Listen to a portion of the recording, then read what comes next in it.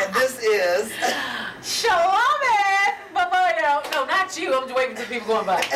well, anyway, they were gone. Okay. Bye Be sure to watch us because we've got interesting stuff. Hilarious. Reality radio. You won't want to miss all the behind scenes, all the things that really go on when you're on the air. Actually, In the air. In the air. Right. And actually, most of our stuff is uh, the radio station is like off the air. Off the air, right? So right? you see what goes on behind the scenes. It is totally ad lib. There is no words. We have no song. script.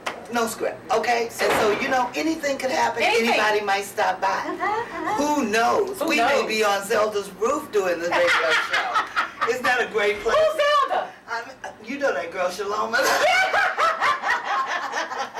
Do join us. Who knows her? For radio station right here on Channel 19. Bye bye now. Uh, okay. Are you on your way in to see mommy? I sure am. What's your name? Jane. Jean. You Uh-huh. are so pretty, girl. Thank you. Make you. us four finger sisters look good. so, so why are you here today? What, what, what brought you here? Actually, I come out here a lot for book signings, but I really liked her book. I read it. It was encouraging or whatever. You read it already? Yeah, Oh, I my got it a few weeks ago. So. Okay. Have you read Shaloma's books, uh, uh, Inspirational Conversations, 365 Days of Empowerment? Comes on Troy Tyler every day at 1045. Was Elder Robinson? Yeah. Yeah, I Have sure have. that? Yeah, it's on my Good for you. bookshelf. Yeah. Is it really? Yeah. Where'd you get it from? Afrocentric downtown. Did you? Good for you. Uh-huh. I'm going to introduce you to her when we get in here, okay? Great. Yeah, Okay, that's okay. good. That's so let's come on in. We're going in the book. We're going to see Monique. Us big girls, you know, we got our own, our own fan club. By the way, do you have you ever met Zelda? Do you know who she is? No, I've never met her. You're talking to her. Get out of here. Yeah. Are you Yeah. inspirational conversation with Yeah, you Zelda? see, I got my book, girl. Let me get a shake hand. Hey, Come how on, are sister you? girl. Okay. We're going to have some fun, girl. Okay. You know she. Hey, this is Monique. You're watching ZTV on channel 19. I said that. Yes, you did. She Ow! Oh, wait, I got Oh, it's your turn. it? Hi, I'm Sherry McGee, and you're watching ZTV on channel 19. Hi, I'm Sherry McGee, and you're watching ZTV on Channel 19. Now let's, let's let's give them all a big round of applause for hanging out here because you know these sisters tired. Thank you, baby. Now give me a hug, girl. God bless your sweet spirit. Let me get a hug from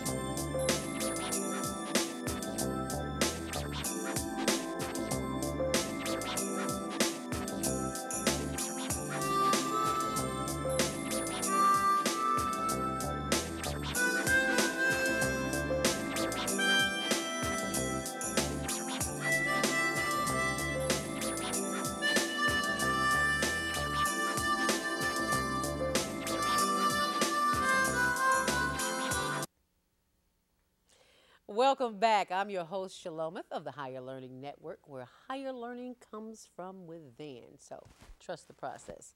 Did you enjoy our uh, commercial break there? Did you see LaDonna Tittle, your Tittle in the middle? She is simply hilarious. we have so much fun during uh, taping that show, so you be sure and join us. And I'll, I'll notify you when upcoming shows are coming. But now this is the part of the scholarship show that you want to see the most, and that is the part that tells you about where to get the money. Show me the money. Well, I'm about to show it to you right here for a manual that I put together just for you because I know you want to go back to school. I know you are tired of that dead end job. Let me tell you what sent me back to school in the first place. I was working at a receptionist as a receptionist. I've always known that my voice was my gift. So, you know, I'm a talkaholic. And I was working as a receptionist and I was just, I've been doing it for years, probably about 10, 15 years. And it just, I had mastered that. And I was just so bored. I was multitasking before there was multitasking, before there was a word for it. And what really let me knew that it was time to move on, I was working at, I can't think of the name of the building on Wacker, on Monroe and Wacker, I think it is. And they were, ju- Citicorp, they were just um, uh, building it. They hadn't finished constructing it yet, so you know that's been a while. And one of the construction workers, uh, an Italian guy, really handsome guy, I thought he was flirting with him, but it wasn't. He was just telling me how much he appreciated me. And they had completed the project, they were working on that floor, and excuse me, at the end of the very last day, he came up to me and said, Thank you so much. And he brought me a dozen roses, a dozen red roses. And I'm, you know how women think. It's like, okay, is this guy trying to hit on me? Uh, I am uh, I don't know about this. I don't mix business with pleasure. So I said to myself, self, you know, I do talk to myself sometimes, you know. And people say you're crazy when you talk to yourself, but you're really not because you have all the answers. So you may as well ask yourself because eventually you'll come up with the answers, right? That she a whole nother nutcase. Anywho, I said, self, um, I don't know what this is about, but I'm just going to accept it. So I thanked him. And he said, I said, why are you giving me these roses? He says, because you made my my crew and myself, you made our working here. So pleasant because you were so professional and you greeted people with love and warmth and you just made everybody feel welcome. And this was like a dingy place. You know there's all this construction work going on around me while i'm sitting there answering, answering the phone. And trust me it was not a nice thing all the time. But you would never know that because i'm answering the phone and i'm always being pleasant. That's one of the things that you have to master as a receptionist and he said i really hate to leave but it's time for us to go, and this is our last day. So I just wanted to give you these, this dozen roses to let us know how much we appreciate you and how nice you were to us. And I began thinking after that day, and I said, wow, he said something that really stuck in my mind. And he said that I had mastered that position. And I thought about it, and I had been thinking about it even before he said it. And I had become bored with what I was doing. It was easy. It was, it was too, it was, it was just too easy. I could do it I could answer the phone with my eyes closed. And trust me, I still answer the phone with my eyes closed. And I got the phone bill, high phone bills. I could be paying a mortgage with my phone bills. Anyway, so that kind of persuaded me to move in another direction. I said, I need to go back to school. So that's when I went to, back to school to Columbia College for broadcast communications.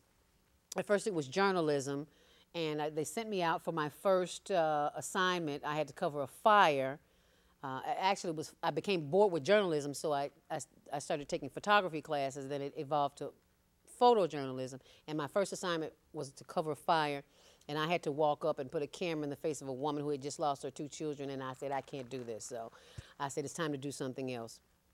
So I went to television, and, and I didn't fit the profile. I'm not 120 pounds, blonde hair, blue eyes. That didn't work. So it's like okay. What else can I do? Because I still want to be able to talk and I need to be able to write. So I discovered radio. And that's when I found my niche. And then I had to find some money to go to school. So that's when I went to uh, do the research and I found out all of the grants that were available.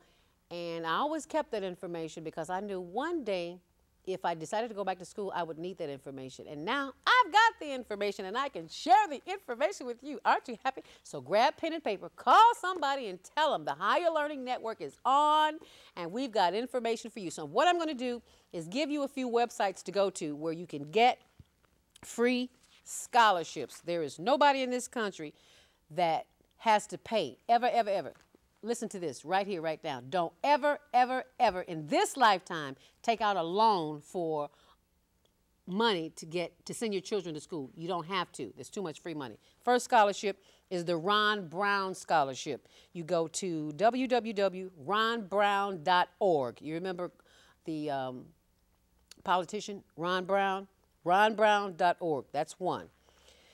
There's also, I'm sure you're probably familiar with the United Negro College Fund scholarships. And even if I'm giving you these scholarships and you can't write them down fast enough, just go to Google and type in the name of the scholarship that I gave you and it'll show up. So the second one was the United Negro College Fund scholarships. And it's really a long name, but I'm going to give it to you. It's uncf.org slash scholarships slash UNCF scholarship.asp. Okay? If you didn't get it, just go to Google and type in United Negro College Fund scholarships. Okay? All right, the next one is the Jackie Robinson Foundation scholarships. That address is jackierobinson.org. That's my uncle. You know that, right? jackierobinson.org. The next one is the Intel Science Talent Search. So if uh, you have any youth or students for teachers or counselors who have uh, youth who are interested in science, this is the website for you. www.sciserv.org forward slash STS. You got that? And if you didn't, Go to Google and type in Intel, I N T E L, Science Talent Search. Next is the Thurgood Marshall Scholarship Fund. You can go to thurgoodmarshallfund.org. Next one is the Gates Millennium Scholarships. This is an annual scholarship. And this website is way too long for me to read, so you simply go to uh, Google and, and type in Gates Millennium Scholarship, and it'll pop up, okay? Because there's tons. Bill Gates has lots of scholarships available for you.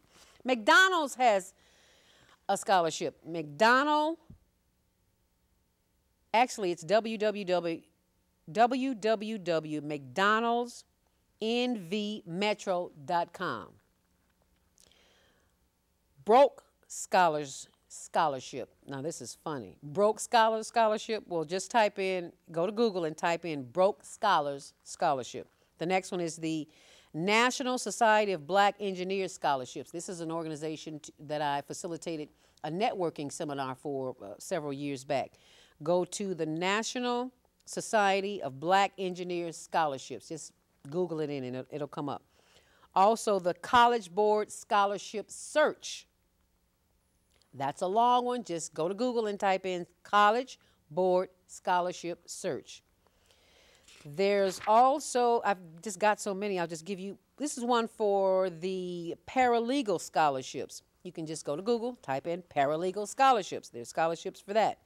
The Siemens Foundation, you can type in www.siemens slash foundation.org. There is the College Board Scholarship Search. You can just type in College Board Scholarship Search. We've only got a, a minute or two to go here, and I'm going to give you a few more. So don't worry about the time, Bill. You can we can run the credits later. International Student Scholarships and Aid Help. That address is www.iefa.org. And there's also another one here I think you would be interested in for the, for the inventors who are thinking of inventing things. It's www.invent.org slash collegiate. And let me see if I can find another one for you. No, we don't want to do loans. I don't know how that got in there. How about www.holaw.hklaw.com? One more, thewilsonfund.org. Type in wilsonfund.org. And for nurses, www.blackexcel.org slash nursing dash scholarships dash HTML. And I think that's just about it because we've got so many. I could spend a whole show, another show, or year talking about this. But I hope you had a chance to write some of those scholarships down. And I want to thank you for being a part of this show. Don't give up on your dreams. If you really want to go back to college, there's money out there and it's available. All you have to do is make the decision to go online, turn that computer on, go to the internet. You'll be glad you did. I'm your host, Shalomith of the Higher Learning Network. Thank you so much for joining us. Stay on purpose, stay empowered, and I'll see you at the top. And thanks for watching.